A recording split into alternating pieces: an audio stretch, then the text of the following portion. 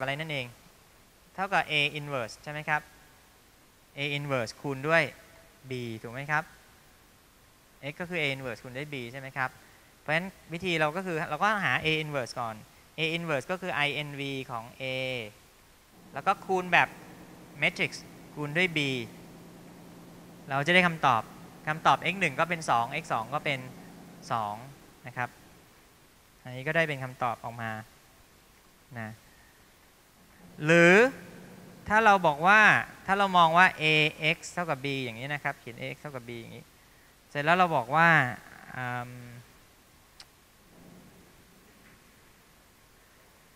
หาร a ทิ้งไปนะครับ หาร a ทิ้งไปใช้ใช้ใช้เฉียงเฉียงอย่างนี้นะครับ ก็คือ x เท่ากับ a อันนี้น่าจะเรียกว่าหารซ้ายนะครับ น่าจะเรียกว่าหารซ้าย นึกนึกภาพออกใช่ไหมครับ ก็เหมือนกับหารด้วย a ทิ้งไปทั้งสองข้างนะนะอันนี้ไม่ไม่ไม่ได้มีผลอะไรนี้คือโชว์ให้ดูเฉยๆนะครับคำสั่งจริงๆคือตัวนี้นะฮะก็จะเห็นว่าให้คำตอบเหมือนกัน เอา a มาหารทางด้านซ้าย เครื่องหมายหารจะเป็นเครื่องหมายแบบนี้นะครับ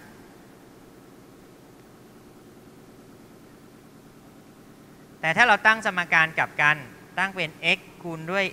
a เท่ากับ b ไม่เหมือนกับสักครู่นี้นะครับ สักครู่นี้คือ ax เท่ากับ b แต่นี้เนี่ย x อยู่ข้างหน้า แล้ว a อยู่ข้างหลัง ถ้าเขียนแบบนี้ a ของเราสมการ a เราต้องเปลี่ยนละ a เราก็จะกลายเป็น 1 1 a เราเป็นอะไรฮะ เป็น นี่เราเป็น 1 1หรือ1 2ฮะ1 2 ใช่ไหม 1 2 แล้วก็1ลบ1นะครับ a เราต้องเป็นแบบนี้ แล้วก็คูณกับ x ใช่ไหมฮะ x เรากลายไปเป็นแถวเป็น row vector แล้วไม่ใช่คอลัมน์นะ ก็จะเป็น x 1บวก x 2เท่ากับ x 1บวก x 2เท่ากับ 4 แล้วก็ 2x 1 2x 2x 1อ่าถูกนะครับ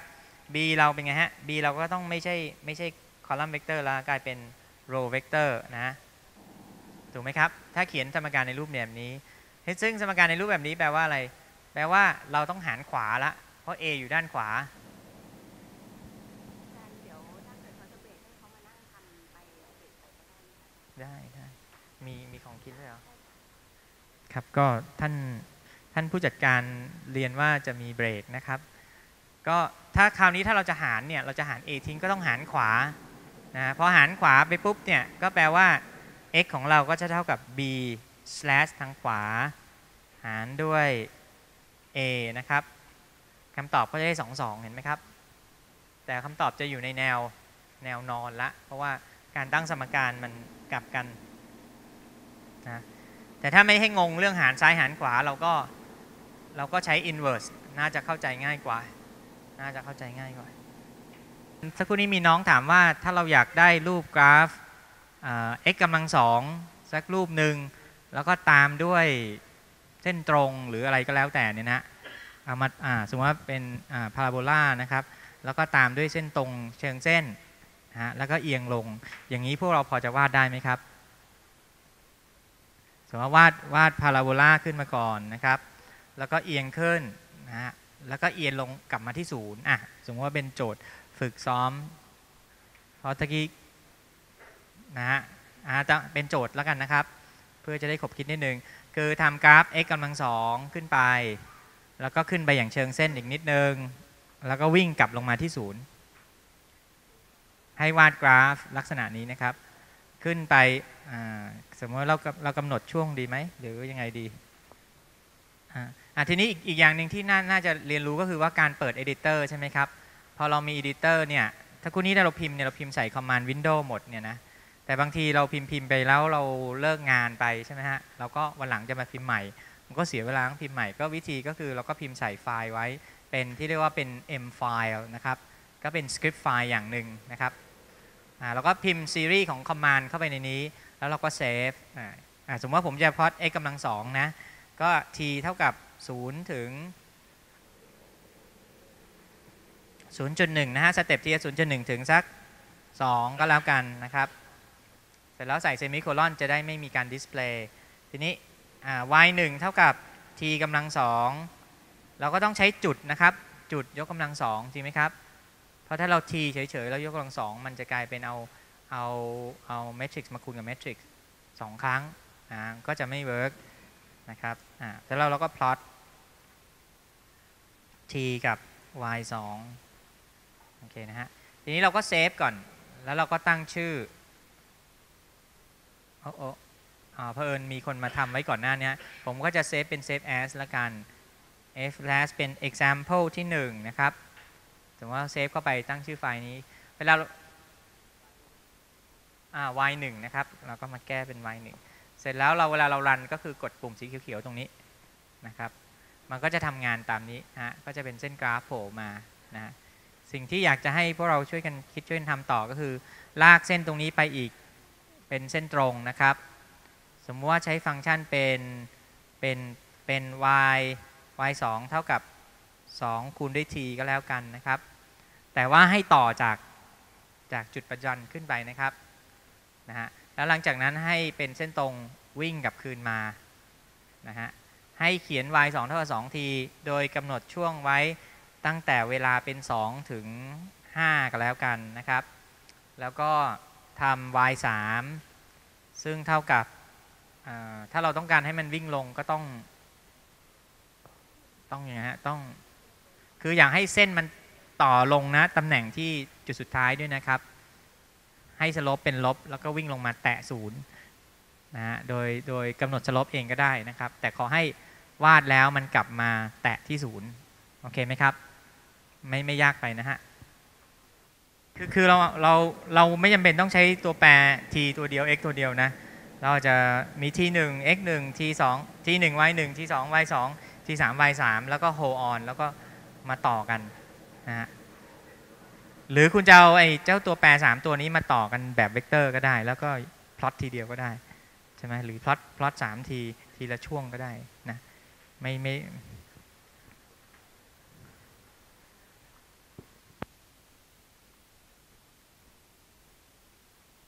โดยมีข้อกำหนดว่าสโลปตรงนี้เป็น2นะครับสโลปนี้เป็น 2 จะได้เหมือนกันหมด แล้วตัวนี้ก็เป็น t ยกกำลังสองนะฮะที่เหลือมันจะต้องบีบให้เหมือนกันหมดแน่นอนโอเค ถ้าลองถ้าทำเสร็จแล้วทำทำรูปนี้ต่อนะครับทำเสร็จแล้ววาดรูปนี้ดูนะครับครับพอเสร็จแล้วลองลองทำรูปนี้ดูนะครับ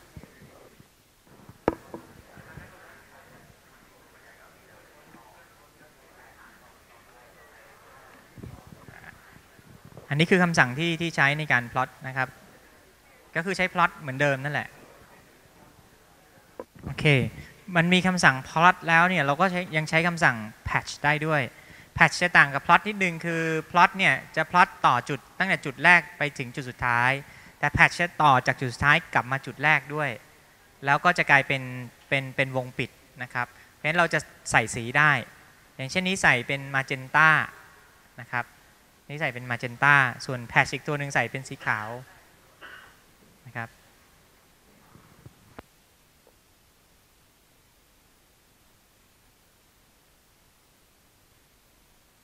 มีใครยังทำรูปแรกไม่สำเร็จบ้างครับ ใครสำเร็จแล้วดีกว่าสำเร็จแล้วสำเร็จแล้วบางส่วนนะครับอลองลองรูปที่สองดูนะครับ โอ เค ช้านิดนึงนะครับ อ่าว้าไม่สวยไม่สวยอ่าสวยแล้วสวยแล้วโอเค อันนี้ก็เป็นเป็นเนื่องจากมีเวลาว่างมากก็มานั่งทำนะครับอ่าครับอ่าก็เป็นเรื่องของการทำ transform image ก็คือเราสร้างเราสร้างเกียร์ทีละเราสร้างขบทีละขบ แล้วเราก็หมุนนะ ฟันฟันฟันเฟืองเนี่ยเราสร้างสร้างอันหนึ่งแล้วเราก็สั่งให้ image transform ให้ครบรอบ อันนี้เราให้มันทำทั้งหมด 21 อัน ก็จะได้อย่างนี้นะฮะ แล้วก็ใส่ตัวเลข Department of Electrical Engineering นะฮะอันนี้ก็เป็นอ่าสำหรับโจทย์โจทย์สักครู่นี้ทำเสร็จหรือยังครับ เสร็จหมดทุกคนหรือยังครับ อันอันนี้เสร็จหรือยัง อันนี้ได้หรือยังครับ ได้แล้วนะฮะ ใครได้แล้วยกมือครับ ได้แล้วนะฮะ ที่เหลือนี่คือ ยังไม่ได้เหรออ่าดูโปรแกรมตรงนี้ นะผมจะอธิบายนะ t เนี่ยคือเรา0ถึง2พายเพื่อให้มันครบรอบใช่ไหมครับเสร็จแล้วเรามีพายส่วน 32 ก็คือสเต็ปทีละเล็กๆๆๆนะครับฉะนั้นเบ็ดเสร็จมันช่วง 2 พายมีตั้ง 64 จุดใช่ไหม 64 65 จุดแหละแถวๆนี้นะครับ ส่วน x 1ก็เท่ากับ cos y 1เท่ากับ sin ถ้าเราพลอตอ่า x 1กับ y 1สีขาวเนี่ยเราจะได้รูปวงกลมนะครับ เพราะว่ามีจุดละเอียดมาก แต่ถ้าสำหรับ t 2กับ y 2ต่างกันนิดเดียว ก็คือรัศมีใหญ่ขึ้น แล้วก็จำนวนจุดในแกนเวลามีไม่กี่จุดเอง ก็คือพายส่วน 4 ขยับทีละพายส่วน 4 เพราะฉะนั้นมันจะมีอยู่ 8 จุดหรือ 9 จุด น่าจะน่าจะ 8 หรือ 9 จุดนะฮะแล้วนั้นเราเราพอด1 2 3 4 5 6 7 8อ่ามี 8 8 จุด มันก็แทนที่จะเป็นวงกลม มันก็กลายเป็น 8 เหลี่ยมนะครับ แล้วเราก็ใช้คำสั่ง patch แทนที่จะเป็นคำสั่ง plot ถ้า plot มันก็แค่ลากเส้นต่อถึงกันนะเราทาสีไม่ได้ แต่ถ้า patch นี่เราก็ทาสีได้นะครับ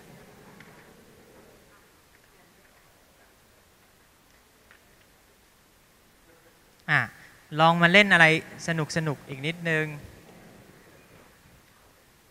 นะครับสมมติว่า x เท่ากับ0จุด0.03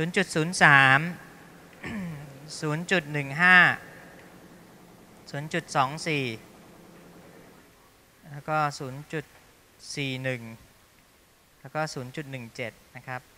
เรามี x ตามนี้นะครับ เสร็จแล้วเราก็สั่ง pi pi x pi x อ้าว pi x เราก็ได้เป็นแผนภาพพายนะครับ แต่ถ้าสมมติว่าเรา เราอยากได้ expose นะฮะ explo- explode เท่ากับ 0 0 1 0 0นะครับ แล้วก็เป็น pi แล้วก็ x เหมือนเดิมนะครับ pi แล้วก็ x เหมือนเดิม แล้วเราก็บอกว่าขอให้มีบางชิ้นเนี่ยมันกระเด็นออกมานะครับ ก็จะเป็นรูปนี้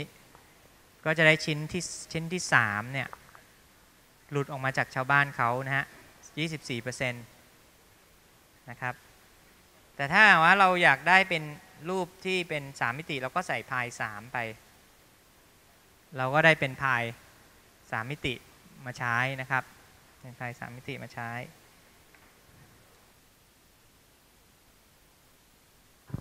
ก็เป็นการเฉลิมฉลองนะฮะเฉลิมฉลอง การอบรมเปิดโลกลันเกียร์ของเรา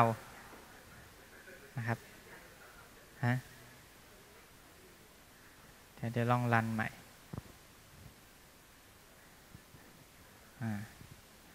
ก็ยิงพุไป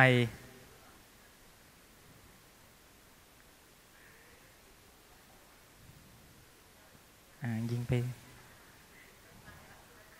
โอเคไหมครับ โค้ดมีแค่นี้เองนะครับ เอาไว้หลอกนักเรียนได้ครับอ่าโอเคเราเราเรามาดูกันนิดนึง ก็คือเราใช้การวาดรูป 3 มิติ ก็คือเป็น plot3นะครับแล้วเราก็ใส่ค่า x ค่า y ค่า z เข้าไป เราใส่ marker size ใหญ่ใหญ่ขึ้นเรื่อยๆไหมฮะตะกี้พลุมันจะใหญ่ขึ้นเรื่อยๆ ถูกไหมครับ ตัวนี้คือนี่คือ marker ให้ใหญ่ขึ้นไหมใหญ่ขึ้นนิดหน่อยนะ ตัวแรกจะเล็กๆ ตัวหลังๆจะใหญ่หน่อยนะครับ เราก็กำหนด marker size ได้ว่าให้มันใหญ่ขึ้นตามค่าวนรอบ สร็จแล้วก็สีของ marker นะฮะเรากำหนดให้เป็น random นะเรา random สีมาเพราะฉะนั้นเรารันใหม่แต่ละครั้งเนี่ยผู้จะคนละสีนะครับ แล้วเราก็บังคับให้มันอยู่ในลบ5ถึง 5 กับลบ5ถึง 5 แล้วก็0ถึง5มุมมองคือ 60 กับ 20 นะครับ แล้วก็พอสสัก 0.5 ถ้าเราอยากจะให้มันพอสนานหน่อยก็ ให้ผู้มันวิ่งช้าหน่อยก็ ก็เพิ่มเวลาพอสไปเห็นไหมครับ มันก็จะผู้ก็จะยิงช้าหน่อยนะครับ แล้วก็ในนี้มีการเก็บรูปแอนิเมชันที่เราทำขึ้นไว้ในในในในเป็น movie ด้วยนะครับ ก็คือจริง ๆ เราสามารถ save แอนิเมชันตัวนี้เข้าไปในไฟล์ได้นะครับ เข้าไปในไฟล์ได้ แล้วเราก็ใช้ Movie มาเล่น ใช้คำสั่งใช้ฟังก์ชัน Movie มาเล่นเล่นหนังตัวนี้ออกมานะครับอลองลองพิมพ์ดูแล้วลองเล่นดูนะครับ ตัวนี้คือ property ของกราฟที่เรา plot นะครับ มันจะมี property มากกว่านี้อีกพอสมควร แต่ที่เราใช้บ่อยๆ ก็คือพวกนี้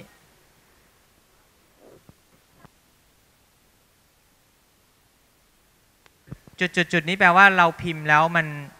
ยังไม่หมดคำสั่งคำสั่งยังต่อเนื่องไปบรรทัดถัดไป ก็ใส่จุดจุดจุดสามทีนะครับ อันนี้น่าจะได้มั้งครับมูวี่ตอนนี้มันเพลย์อย่างเดียวนะฮะ มันยังไม่ไปลงไปเก็บไว้ในไฟล์ใช่ไหมแต่แต่ถ้ากูนี้มันมีนามสกุลจุด mov ก็ต้องหาวิธี เซฟเข้าไปในไฟล์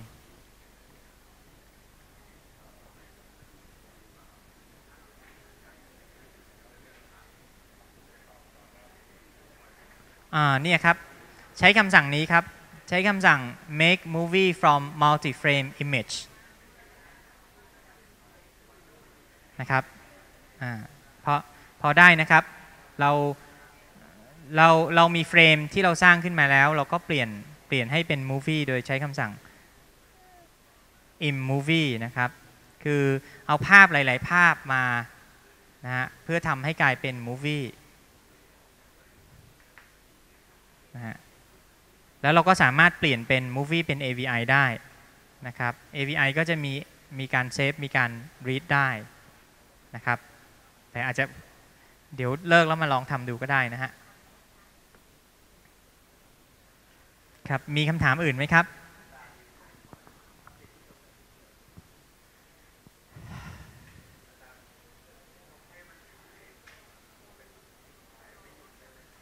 ใช้ไม่หยุดเราก็วนวนหลาย ๆ รอบไหมครับลูปลูปลูปลูปไหนที่ตัวนี้มั้งครับ movie สองหรือเปล่า ใช่ไหมครับตะกี้ลองหรือยังฮะ แล้วก็เป็น movie สักสิบก็ได้ มันก็จะเล่นไปสิบรอบมั้ง ไม่หยุดเลยเหรอครับ ไม่หยุดเลยเราก็ใช้ while loop ได้ไหมครับ ก็เป็น while อย่างเงี้ยฮะ แล้วก็ while หนึ่งแล้วเราก็สั่ง movie อยู่ในนี้ มันก็จะวิ่งไม่หยุดนะฮะเนี่ยอย่างเงี้ย ก็จะไม่หยุดนะครับอ่าถ้ายังไงก็นะครับก็ได้เวลาอ่าอ่าครบตามหลักสูตรนะครับ แล้วก็เนื้อหาคิดว่า ก็เพียงพอที่ทุกท่านจะกลับไปไปใช้ต่อได้นะครับ ไม่ใช่เรื่องไม่ใช่เรื่องลำบากเลยแมทแลบง่ายกว่าที่คิดนะครับ แล้วก็ไม่จำเป็นต้องไปซื้อคู่มือเลยด้วยซ้ำไป เพราะเราเปิดจากจากด็อกของ MATLAB นะฮะแล้วก็ Help ของ MATLAB ได้นะฮะฉะนั้นวันนี้ก็ผมก็ในนามของคณะวิศวกรรมศาสตร์ แห่งจุฬาลงกรณ์มหาวิทยาลัยก็ต้องขอบคุณทุกท่านที่เข้าอบรมกับเรานะครับ ก็ขอให้ นำไปใช้งานได้ได้บ้างไม่มากก็น้อย ถ้ามีคำถามก็ติดต่อกลับมาที่คณะของเราได้นะครับ